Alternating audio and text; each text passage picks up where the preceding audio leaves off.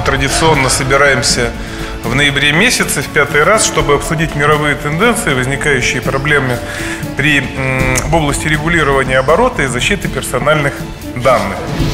Все мы видим, что глобальное информационное общество, информационные и коммуникационные технологии стремительно развиваются. Сегодня информационные технологии охватывают практически все сферы общественной жизни. Значительные объемы сведений в электронных базах требуют создания надежных механизмов защиты информации о гражданах. Нередки случаи несанкционированного распространения персональных данных, что не только наносит репутационный ущерб организации, допустившей утечку, но и нарушает права гражданина на неприкосновенность частной жизни, личную и семейную тайну. Здравствуйте, дорогие друзья! Сегодня в нашем эфире международная конференция «Защита персональных данных». Организатор мероприятия «Роскомнадзор». Напомним, что в 2016 году вступит в силу одноименный закон, а значит тема как никогда актуальна. И прямо сейчас смотрим вторую часть. Считаем нашу секцию открытой. А, и слово для доклада предоставляется а, представителю Санкт-Петербургской школы права Наумову Виктору.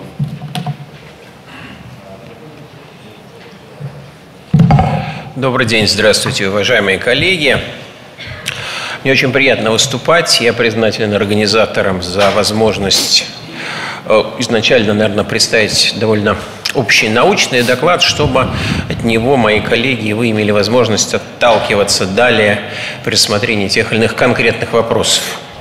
Э, при этом э, часть сведений, которые вам представлю сказать, не представляет какого-то особого глубокого интереса. Это, так сказать, общеизвестная информация. Некоторые сведения действительно э, получались в результате той или иной практической работы. При этом э, в условиях современного развития информационных технологий очень важная мысль с моей точки зрения. Мы сейчас сталкиваемся со всем тем, что в сфере персональных данных происходит переосмысление правовых институтов – наблюдается очень сильный интерес к данной тематике со стороны государств, международного сообщества, бизнеса, гражданского общества. И в условиях вот этих трендов э, возникает ситуация, когда старые устоявшиеся конструкции институты серьезным образом меняются – для того, чтобы понять, как они меняются, в каком объеме и по каким направлениям все это происходит, имеет смысл, с моей точки зрения, кратко посмотреть на то, какие модели в отношении развития законодательства иностранных государств в сфере персональных данных имеет место. Когда мы смотрим на модели, имеет смысл обратить внимание на несколько аспектов. Во-первых, само понятие персональных данных. Как вы знаете, в ряде стран мира, в ряде регионов по-разному рассматривают эту категорию. Далее существенный момент, касающийся наших современных трансграничных реалий, как законодательство отвечает на вызовы, связанные с возможностью трансграничной передачи персональных данных, и устанавливаются здесь какие-либо барьеры ограничения или нет. Соответственно, стоит вопрос, в принципе, существуют ли специальные ограничения применительно к действию законодательства о защите персональных данных в пространстве или нет. При этом в отношении моделей трансграничной передачи персональных данных разные государства обращают внимание на разные ситуации и, соответственно, разрешают проблемы, в том числе юрисдикции и А и Б адекватной защиты персональных данных. Ну, наконец, тоже существенный момент, который напрямую не имеет отношения непосредственно к нашему ключевому вопросу, а именно трансграничной передачи, но все равно очень актуален, это система ответственности в рассматриваемой сфере. Как вы прекрасно знаете, в Российской Федерации, допустим, уровень ответственности за соответствующие правонарушения по сравнению, скажем, со странами Европы, Соединенными Штатами Америки и рядом других государств довольно низок. В этой связи, когда мы смотрим в целом на проблему, нужно комбинировать те барьеры и ограничения, которые существуют за рубежом и в Российской Федерации с тем уровнем ответственности, который государство устанавливает принципе, все модели правового регулирования в рассматриваемой сфере можно разделить на, так сказать, буквально несколько вариантов. Условно назовем их следующим образом. Децентрализованная система правового регулирования. Когда, в принципе, в законодательстве отсутствует единая система, единая отрасль такового, и регламентация персональных данных осуществляется на уровне всевозможных законов, а в каких-то ситуациях просто даже подзаконных актов, когда в зависимости от сферы оборота персональных данных, их природы и природы тех или иных правоотношений, законодатель и правоприменительная практика выстраивают отдельный подинститут. Ну, пример, яркий пример Соединенные Штаты Америки, когда у них в отношении всевозможной информации, касающейся неприкосновенности частной жизни в целом и персональных данных, э, сказать, непосредственно, есть много-много нормативно-правовых актов. При этом, что очень важно, э, Существенную роль в этой сфере играют акты рекомендательного характера, как со стороны государства, так и со стороны бизнеса. Когда государство временами совместно с бизнесом, временами нет, устанавливает некие методики, которые определяют уровень защиты персональных данных, определяет состав мер и дает некие рекомендации – то же самое делает бизнес. В некоторых сферах есть совместные инициативы, в некоторых сферах есть инициативы, где вообще государство не участвует в данной проблематике. Ну, например, первое, что мне приходит в голову, там, так сказать, э, регулирование телемедицины, применительно к, так сказать, э, аспектам веб-сервисов в данной области. Что важно, в рамках этой системы обычно в государствах отсутствует единый надзорный орган – обычно функции государственного контроля распределены по э, различным государственным органам. Есть один госорган, который занимается, обычно есть, э, сказать, какой-то общей методологией, но тем не менее зачастую он совершенно не вмешивается в действия других регуляторов. Примеры классические – Соединенные Штаты Америки, Канада, Австралия.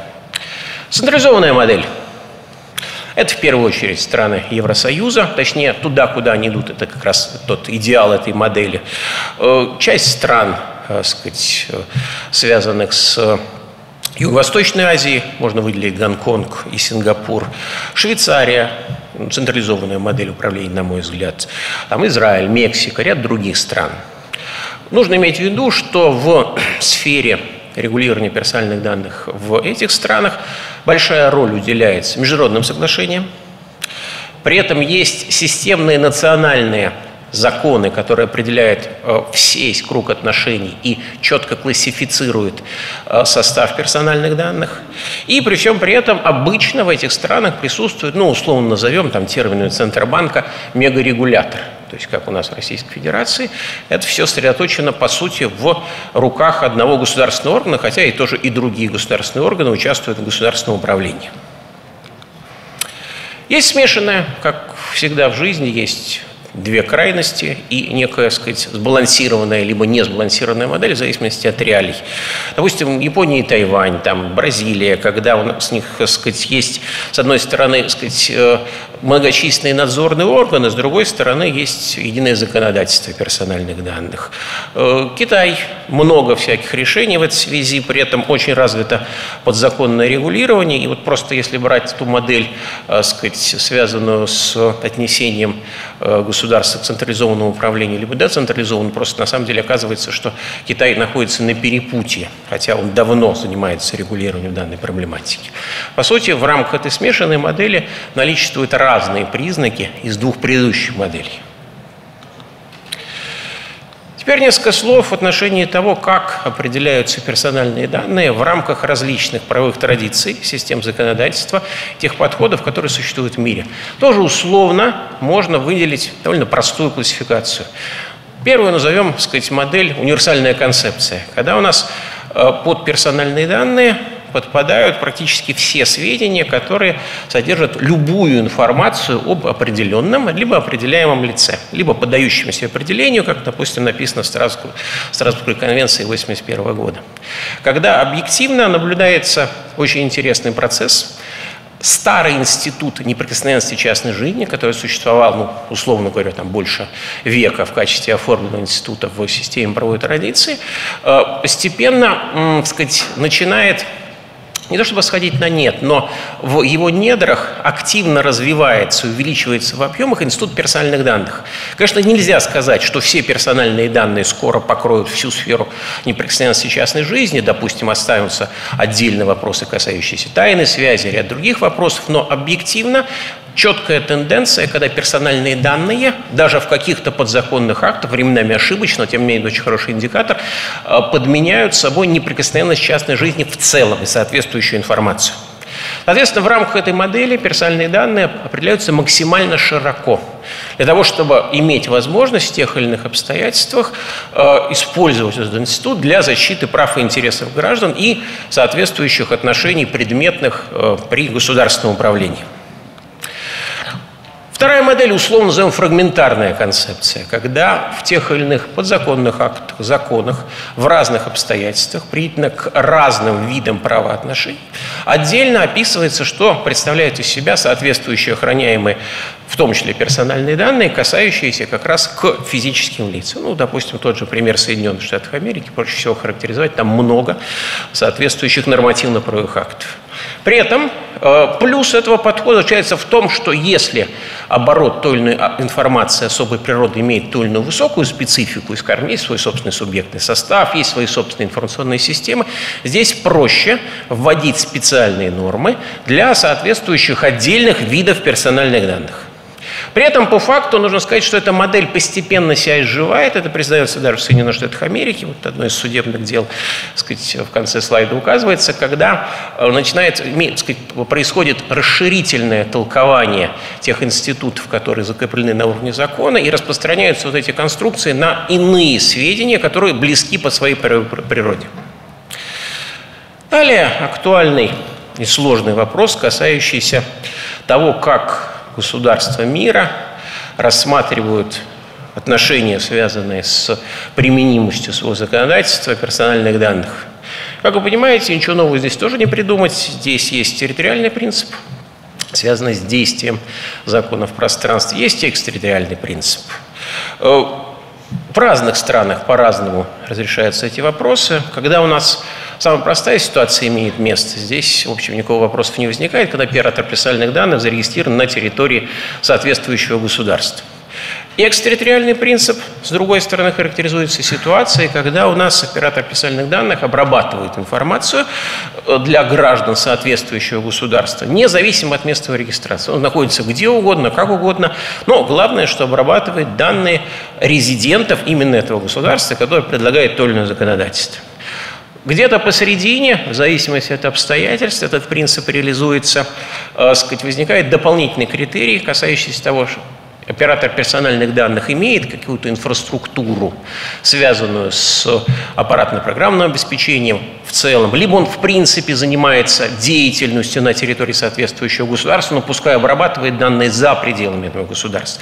Это тоже является тем признаком, по которому определяются вопросы, связанные с юрисдикцией соответствующих правоотношений. Всем известно, что Территориальный принцип сказать, четко определен в директиве Евросоюза.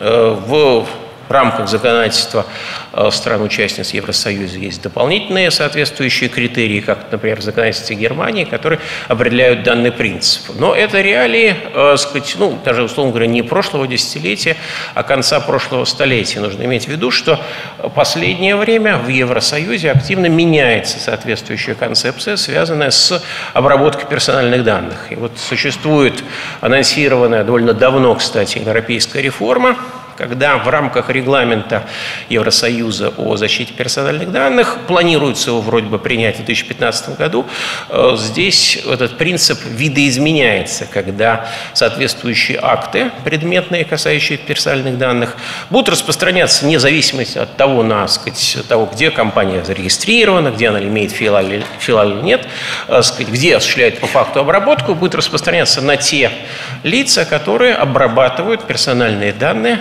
граждан стран-участниц э, соответствующего международного образования.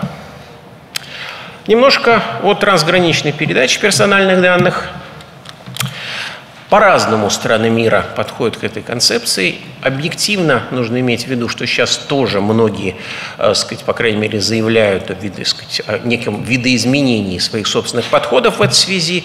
Здесь тоже условно можно выделить несколько групп, несколько конструкций, которые определяют, к какой модели то или иное государство относится. До недавнего времени, скажем, сказать, э, существовала и активно лоббировалась либеральная модель трансграничной. Э, передачи персональных данных, в первую очередь Соединенные Штаты Америки. Основная идея заключается в следующем, что в общем ограничения здесь должны отсутствовать. Если сам субъект персональных данных, естественно, должным образом ознакомлен с соответствующим режимом обработки, имеет те или иные сведения, тогда в этой связи какие-то дополнительные барьеры берем из нашего закона, из, из Евросоюза, законодательства Евросоюза, так сказать, э, модель адекватной защиты либо неадекватной защиты, здесь эти ограничения присутствовать не должны. В рамках европейской модели как раз вот этот адекватный уровень защиты личной информации, который следовал еще из директивы ЕС, э, сказать, объективно является до сих пор основным. При всем при этом в рамках соответствующей реформы приятно к вот этой самой европейской модели, э, предлагается дополнить эти конструкции, связанные с тем, чтобы рассматривать еще ограничения на то, как затем уйдя из, условно говоря, Евросоюза, эти данные в дальнейшем будут обрабатываться. То есть планируется ввести дополнительные требования в случае, если персональные данные передаются и обрабатываются далее. То есть, уйдя один раз из Евросоюза, Евросоюз планирует еще определить условия, как в дальнейшем будет осуществляться обработка этой информации. Ну и в заключение несколько вопросов, касающихся ответственности. Здесь мы понимаем, что есть ключевые вопросы, связанные с субъектным составом, кто за что несет ответственность, ну и, естественно, и с величиной санкций.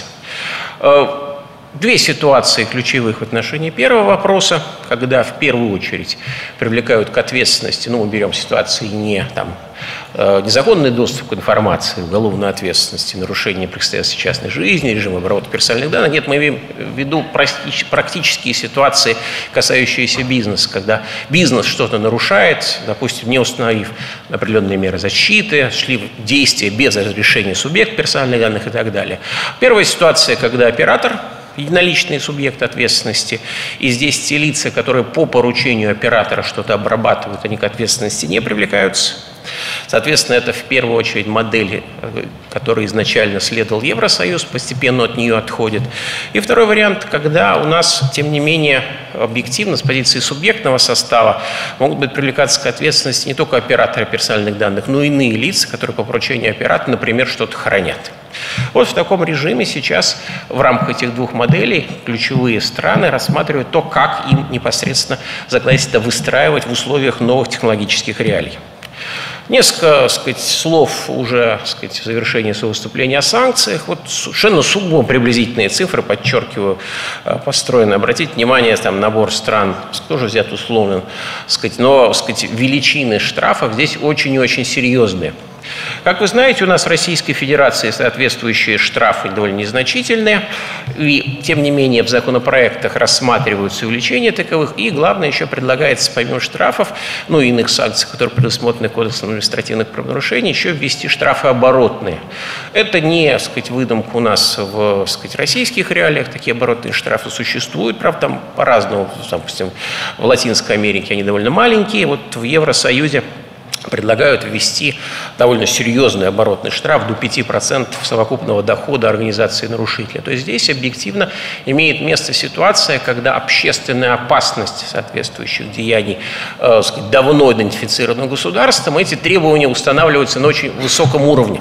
Здесь возникает другой вопрос, что объективно, и на это обращают внимание исследователи там, на Западе, на Востоке, э, повышение уровня санкций не должно происходить на фоне увеличения количества и, сказать, усложнение реализации административных барьеров. Если одновременно будет происходить процесс э, возложения огромного количества требований на оператора персональных данных, и при этом устанавливаться санкции, мы будем сталкиваться с ситуациями, когда э, субъекты отношений, даже не желая вообще в принципе нарушать режим персональных данных, тем не менее в условиях нереализуемости, либо не, сказать, невозможности оперативно реализовать те или иные требования, просто-напросто будут автоматом находиться под довольно сказать, всеобъемлющей карой со стороны государства. На этом этом позволю себе закончить. Надеюсь, что дальше продолжим этот вопрос рассматривать в рамках дискуссии. Спасибо.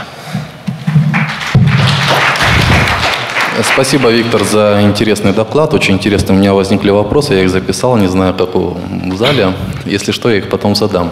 Вот, а сейчас слово предоставляется а, Архипову Владиславу. Очень интересный доклад. А вот, мы отойдем немножко от сугубо законодательства и перейдем в такую виртуальную реальность. Благодарю, Виктор Юрьевич, за предоставленное мне слово и традиционно хотел бы выразить благодарность организаторам конференции за приглашение на столь представительное мероприятие. А, Виктор Борисович выступил с докладом, который был связан с общим системным обзором регулирования персональных данных. Мой доклад связан скорее с одной из э, интересных областей, где законодательство о персональных данных имеет серьезное практическое применение. Уже, наверное, прошли те времена, когда упоминание компьютерных игр в контексте серьезных юридических мероприятий вызывает определенную улыбку и недоверие, потому что на сегодняшний день это весьма теоретически значимая практически актуальная индустрия, на которой тестируется фактически в социально значимом аспекте э, большое количество вопросов, связанных с, в принципе, развитием цифровых технологий и цифровой культуры.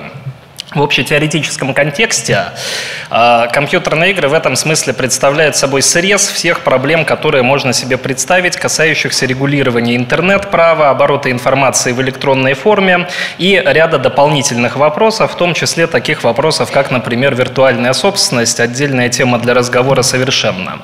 Но в контексте персональных данных важно отметить то, что на сегодняшний день этот феномен массовой культуры построен на принципиальной трансграничности отношений, сборе сборе гигантского количества информации о пользователях и возникают вопросы о том, как это может регулироваться, как это должно регулироваться и какие данные представляют собой в принципе персональные данные. В этом смысле ответ на эти вопросы применительно к данной любопытной индустрии может прояснить ситуацию в целом, связанную с регулированием персональных данных.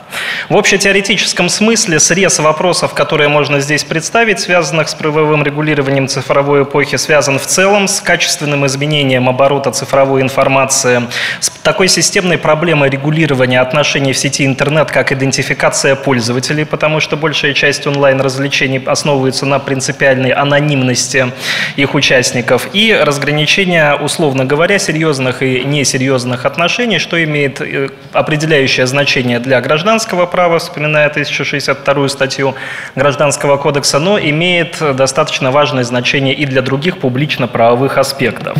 Недавняя статистика говорит о том, что на декабрь 2013 года российский рынок является первым в мире по рынку игр для персональных компьютеров. Всего у нас при а, известной, известном числе, отражающей все население Российской Федерации, 46 практически с половиной миллиона человек регулярно участвуют в различных а, онлайн-играх, и это а, свидетельствует о том, какой объем данных, связанных с каждым конкретным игроком, обращается в сети.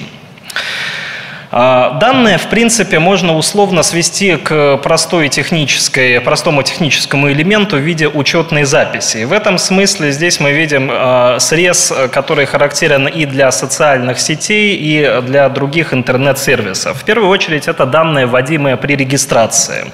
Здесь у каждого из разработчиков встает вопрос о том, как соблюсти баланс между информацией, которая необходима для того, чтобы осуществлять оперирование компьютерной игрой, предоставление сервиса, и для того, чтобы не зайти э, за черту, когда речь идет уже о серьезной обработке персональных данных. Для нашей юрисдикции это, наверное, еще не такой вопрос э, актуальный, как для э, европейских, например, юрисдикций, где, в принципе, любые участники этого бизнеса всерьез заинтересованы в анализе данной информации. Значит, данные, вводимые при регистрации, это первая составляющая такой категории данных. Как правило, они сводятся к минимальным минимально необходимому набору данных, необходимых для отделения просто одного пользователя от другого. Затем есть внутренняя э, сгенерированная информация, которая используется для идентификации истории действий, совершающих пользователь, которые пользователь совершает в рамках определенных игровых взаимодействий. Дополнительные данные, которые собираются техническими средствами, например, IP-адрес или геолокационные данные. И, наконец, самая интересная категория, которая порождает еще целый ряд дополнительных вопросов, которые вряд ли сейчас в принципе имеют прямое регулирование, это данные, которые вводятся пользователям как пользовательский контент, то есть данные, которые напрямую не собираются ни оператором этих данных, а, не а, инициируются другими пользователями, раскрываются внутри определенного виртуального пространства. И вопрос заключается в том, являются ли эти данные персональными или нет, потому что а, на первый взгляд можно сказать, что эти данные индивидуализируют определенного пользователя, но при более детальном рассмотрении становится ясно, что без дополнительной информации на самом деле эти данные не позволяют идентифицировать конкретного субъекта.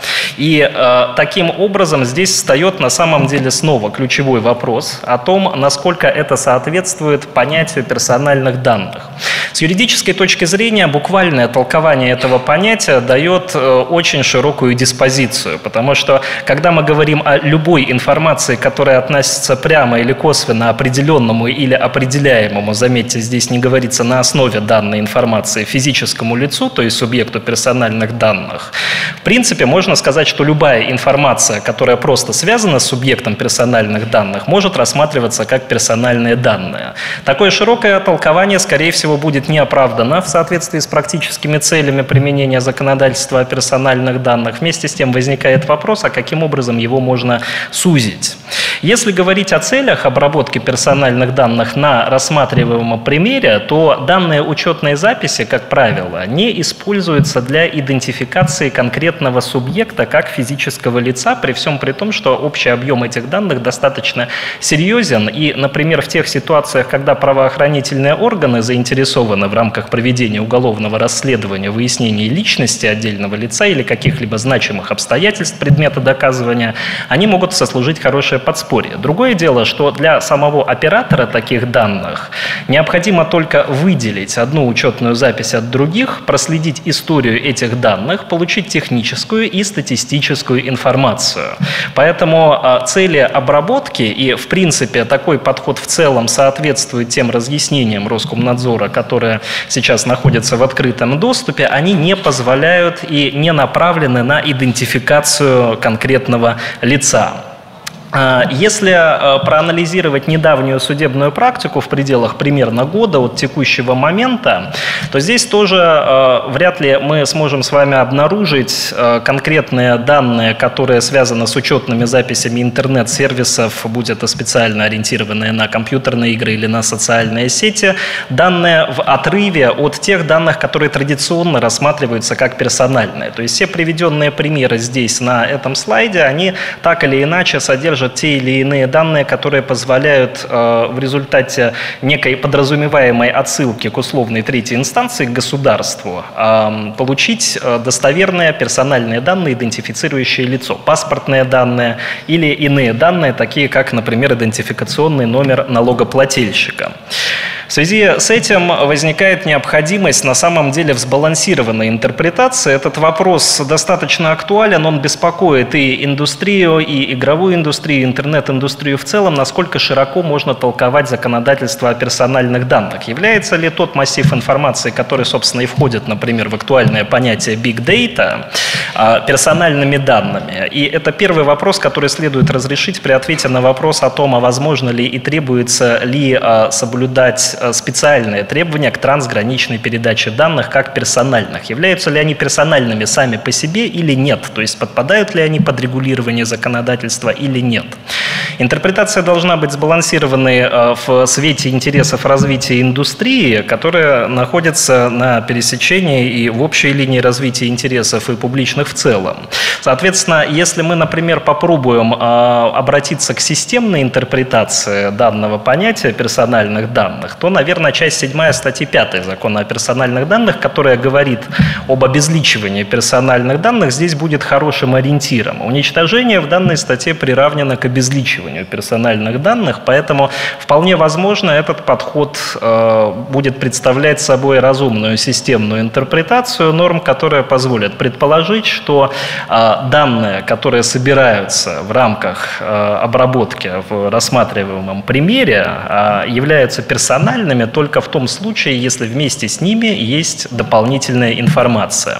Может быть, которая позволяет идентифицировать. То есть, например, паспортные данные или иные данные, такие как э, номера, обладающие определенной системой кодировки, из которых можно извлечь персональные данные. Представляется, что в иных обстоятельствах э, будет достаточно сложно говорить о каком-либо э, развитии и э, предсказуемом применении законодательства в данной сфере. При всей очевидности данный вопрос и на практике, и в теории вызывает неоднозначные на самом деле ответы, потому что э, принципе, встает вопрос о формальной определенности данной нормы. И сейчас был представлен один из возможных вариантов интерпретации.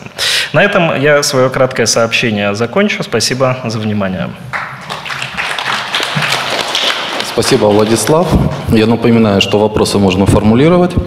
Вот. А сейчас у нас выступает Сачков Илья, э, генеральный директор э, организации, э, представителя, так скажем, неигровых отношений, потому что там все очень сложно и строго. И сейчас он про это расскажет. Здравствуйте, коллеги. Меня зовут Илья Зачков. А, группа IB – это такая интересная организация. Она в России участвует в расследованиях около 80% особо резонансных дел, связанных с высокими технологиями. Так как в нашем составе действует лаборатория компьютерной криминалистики, крупнейшая в Восточной Европе, мы очень часто привлекаемся как эксперты, в том числе, когда утекают персональные данные. Вот немного теории, которую я хотел сказать в начале – перед тем, как я перейду к этому слайду. В любом деле, любого человека, менеджера, управленца, вот современный подход э, к выполнению заданий говорит о том, что нужно делать каждый день, начинать день с того, что делать самое важное и главное дело, самое, которое приносит больше всего результата. Например, Министерство образования, глобальная цель Министерства образования – сделать так, чтобы наше общество, наши дети, э, люди, которые учатся в университетах, они лучше, ну, больше получали знаний. Министерство здравоохранения, чтобы люди меньше болели. Задача всей работы по персональным данным на самом деле сводится не к э, юридическим тонкостям разных вещей. Главная задача, вот самое главное, чтобы персональные данные не утекали, чтобы они были в безопасности. И об этом нужно помнить. Вот, поэтому в приоритетах, я думаю, вот моя презентация о некоторых приоритетах, которые, возможно, нашему обществу лучше расставить в процессе защиты персональных данных. Сейчас, в последний, особенно год, много речи идет о опасности и необходимости регулирования а, трансграничной передачи персональных данных. Это важный вопрос, он действительно обсуждается и в Совете Европы, и на базе площадки Организации Объединенных Наций. Это важная вещь, но она не является наиболее приоритетной, на наш взгляд. Вот. А сейчас, вот если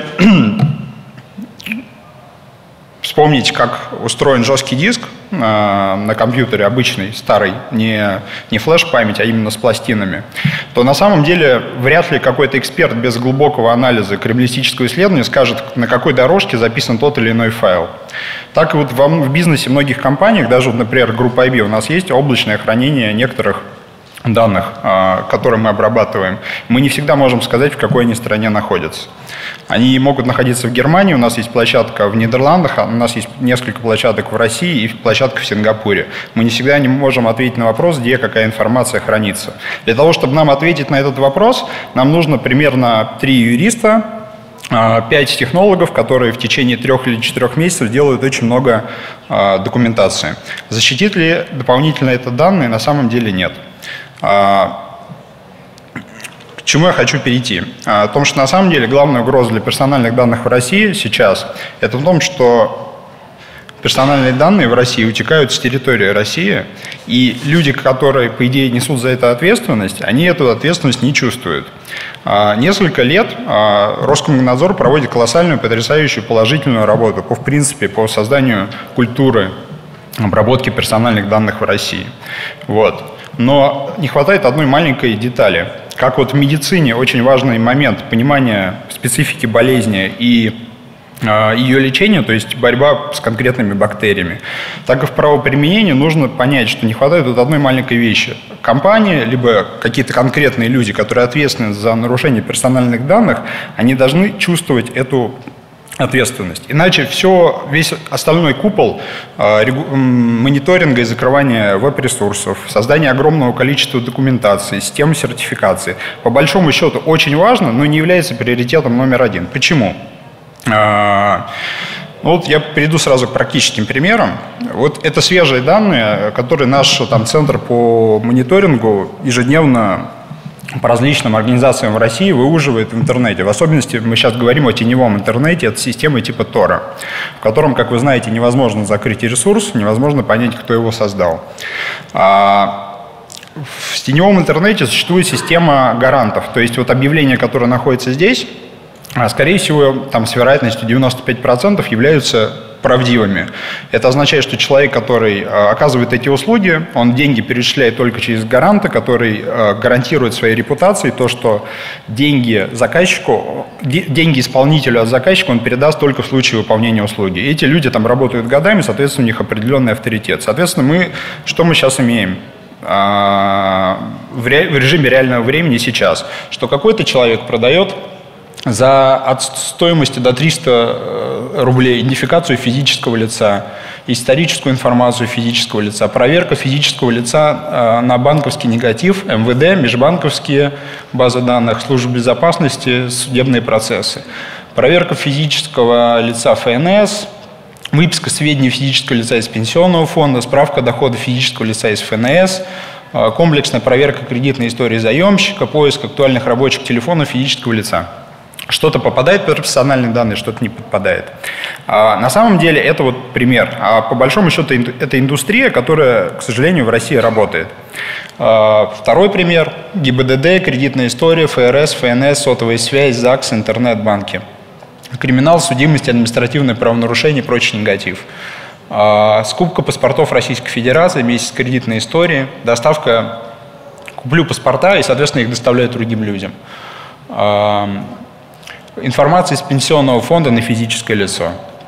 А, тут вот это как раз теневого интернета, здесь вот можно плохо видеть, но это домен.onion, его невозможно заблокировать. А, человек имеет, видимо, доступ в базы ГИБДД и, соответственно, предлагает за 8-9 тысяч рублей изготовление любого поддельного водительского удостоверения на какого-то уже существующего физического лица на территории России.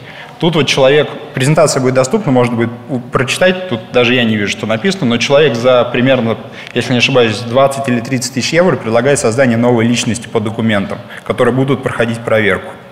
Вот. Базы данных банков, продажи. Вот мы э, Сбербанк, ВТБ, ОТП, Альфа-банк. Соответственно, в, бан, в банковской карточке достаточно много на, находится информации, часть которых попадает под понятие персональных данных. Вот. Э, связь банк. И ну, посмотрите, это свежее объявление. Мы несколько дней назад делали эту презентацию 9 октября.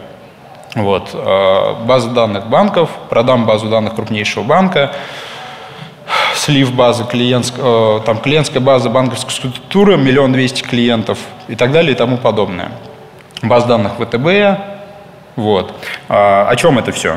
А, ну, картинок можно еще миллион сделать разных. И, к сожалению, проблема в том, что это большинство картинок правдивых. А, важное замечание. Эти организации, часть из которых являются государственными, они находятся на территории России, их сервера находятся на территории России, банки находятся на территории России, их сервера находятся тоже на территории России. Наша такое теоретическое, стратегическое предложение, в первую очередь сконцентрироваться и отработать процесс защиты персональных данных уже в рамках территории Российской Федерации, чтобы организации, которые ответственны за хранение, обработку персональных данных, чувствовали ответственность. Потому что, ну, скажем так, э, ни для кого не секрет, и тем более несколько там э, недель назад это был очередной скандал, то, что до сих пор существует возможность за определенные деньги покупать э, данные и по мобильным телефонам с точки зрения биллинга, и по э, информации по медицинским кар картам страховых компаний, то есть что является страшной персональной данной, ну, данными, на мой взгляд. То есть я бы, например, не очень хотел, чтобы о моих, моих болезнях кто-то знал из моих э, врагов, коих у меня большое количество. Вот. Э, потому что они меня будут э, стараться поить не тем, чем нужно. Это как шутка такая, но тем не менее мне есть доля правды. Вот, поэтому мы, у нас есть определенная такая концепция юридическая. Я сам не юрист, поэтому прошу вот начальника нашей юридической службы рассказать о том, что мы, в принципе, предлагаем сделать. Вот Анатолий Земцов буквально три минуты объяснит логическую связку. А моя идея и вот наших коллег, которые очень много участвуют в расследованиях, то, что главная концентрация должна быть на причинно-следственной связи. То есть вот Персональных данных, в принципе, не должно быть в интернете, они должны продаваться. И люди, которые их продают, и которые из компаний, и государственных, в том числе, их воруют, они должны, по большому счету, сидеть в тюрьме, потому что зачастую совершается разной степени тяжести уголовное преступление по совершенно разным статьям Уголовного кодекса. Коллеги, добрый день. Анатолий Земцов. А, ну, как же верно сказал Илья, основная проблема, как нам кажется, э, это умышленная кража персональных данных, умышленное хищение персональных данных. Не буду говорить сложным юридическим термином, говорю простым языком, используя слова кража и хищение. Э, на территории Российской Федерации. Все это дело происходит посредством так называемого инсайда, то есть сотрудники, грубо говоря, выносят нас персональные данные. Какие же наши конкретные предложения? Во-первых, очень странно, что такая серьезная материя, персональные данные, ну, не будем как бы спорить о том, административное или правонарушение или все-таки преступление в рамках Уголовного кодекса, хотя вот лично я считаю, что это больше, чем административное правонарушение. Тем не менее, как все прекрасно, наверное, знаете, пока мы юристы, э, нарушение для юридического лица за, скажем так, ошибки либо умышленные действия, связанные с нарушением режима хранения персональных данных, всего 10 тысяч рублей согласно КОАП Российской Федерации.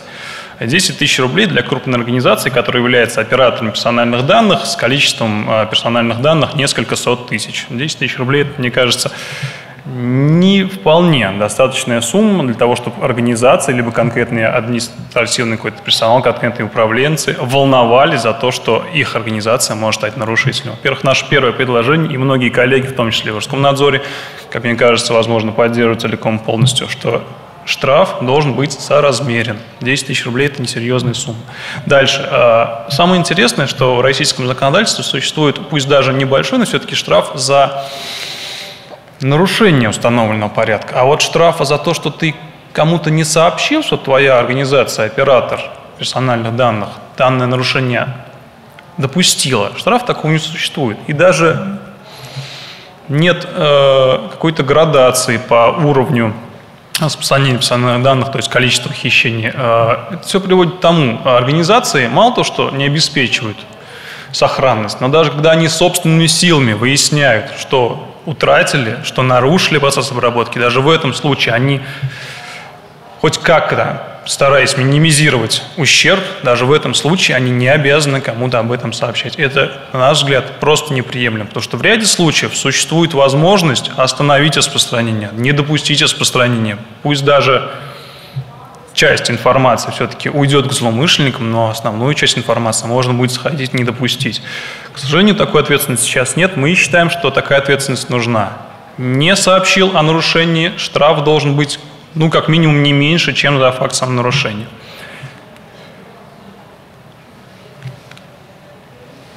Э, еще очень интересный момент, который нам кажется не совсем оптимален для работы. Профессионал в области работы с персональными данными и контроль за этой сферой с точки зрения государственных органов – это, безусловно, Роскомнадзор.